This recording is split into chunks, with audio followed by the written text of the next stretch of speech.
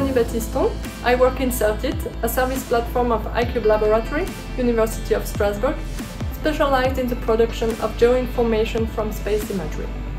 I'm head of SERTIT's Rapid Mapping Service, which is operational 24-7 and dedicated to supplying crisis and risk managers with information on crisis during or just after a disaster to help them manage an event. We use Pléiades data for the first time within the framework of the International Charter Space and Major Disasters after the volcanic eruption in Tonga Islands in January 2022.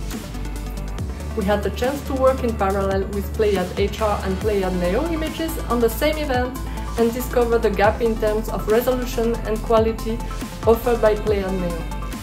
Thanks to Pléiades Neo's 30 cm spatial resolution, landscapes and damages following a disaster can be analyzed with more confidence.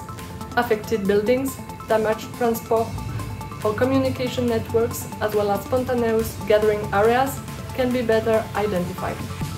We have been looking forward to this 30 cm data for a while now.